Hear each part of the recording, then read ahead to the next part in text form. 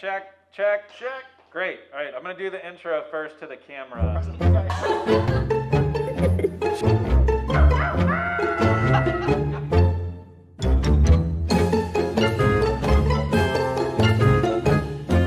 Hello and welcome to Megaphone Mondays, the interview session with Frazier Museum staff where we yell at each other across the room through megaphones because, well, just because at this point.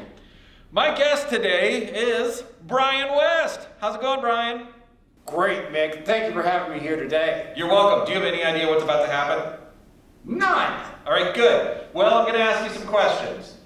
What's your title? Well, I'm officially known as a teaching artist for the time being. And if I was four years old, how would you explain your job to me? I would tell a four-year-old, an imaginary four-year-old Nick Sullivan, that what I do is a combination of storytelling, acting, amateur history, and I should say camp counselor, especially when we have school groups and campers here. Yeah, you've been here for a long time. How long have you worked at the Frazier? Uh, going on 14 years. It'll be 14 years in the fall. Wow. Your tenure at the Frazier Museum can almost drive a car. Hey, uh, have you ever seen Bill and Ted's Excellent Adventure? Once. Okay, if you, you know, there's a mall scene. If you could go to the mall with anyone from the past, who would it be? And what would you do at the mall with that person? This is going to be a silly answer, but That's great. I think it would be Jesus. And I know I sound, I know some people have said that before, but it'd be interesting to see um, how going to the mall with Jesus would be. That would be a very, very enlightening experience, would it not? It it could be. It could be either, you know, the, you know, feeding the 5,000 people with, you know, two loaves of bread and five fishes, or it could be like the temple changers, uh, the money changers at the temple. It'd be very ruckus, very rowdy. I don't know which one. It'd be interesting to find out which one it is at the ball with Jesus. At the ball with Jesus. It would be a really interesting thing to see. Okay, um, I'm gonna say a word, and I want you to, as immediately as possible, you don't have to feel too much pressure. Uh, I want you to say the Kentucky figure that you think of. Okay. Tornado, Pat Day. blazer, Denny Crump. yeah, canoe, Tory Burden. cheese. Uh, Russ Smith. That's a good one. Uh, last one, pickles, Gersel.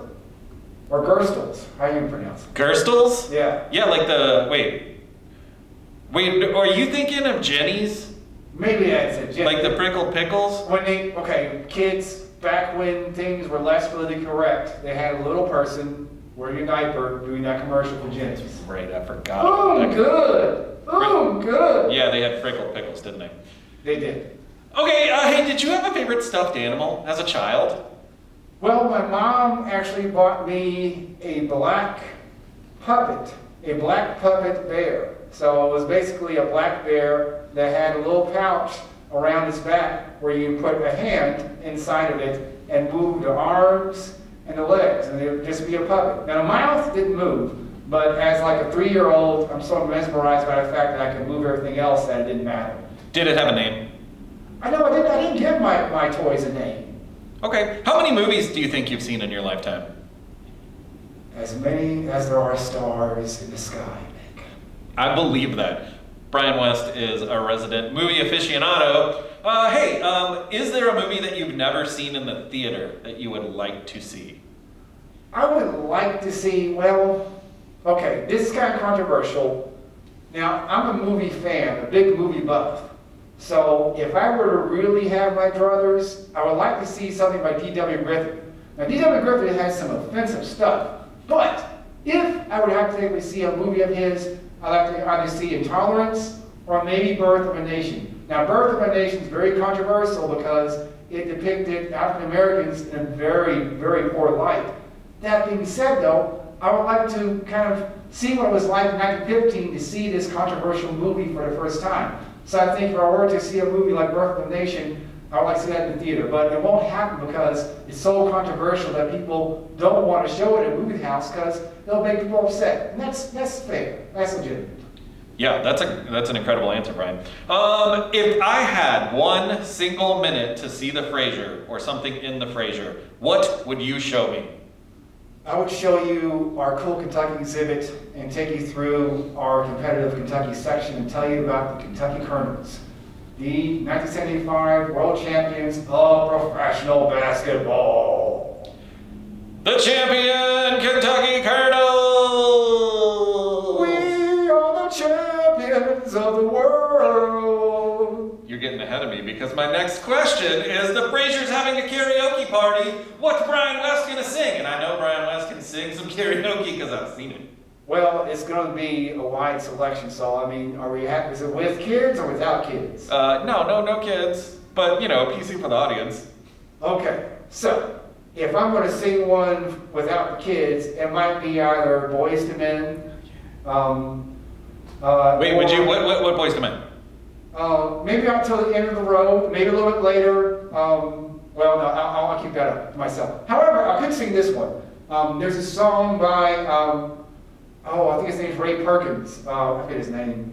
Um, Lay your head on my pillow, hold your warm, tender body close to mine. So that's that's kind of straddling the line between, know, PG and kids. But anyway, Yeah, that's PG-13. That's probably okay. right.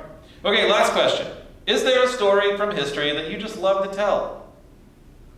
You know, when we had our Heisman Trophy display here with uh, Paul Hornung's 1956 Heisman Trophy, I'd love to tell a story about how he was able to collect four Heisman trophies.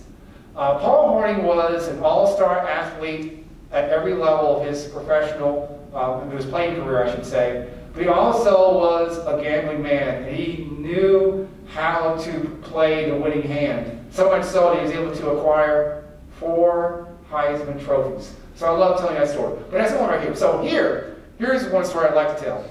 I like to talk about, hey, hey, you know, hey. Um, Roll. I do like to talk about our um, Spirit of Kentucky exhibit.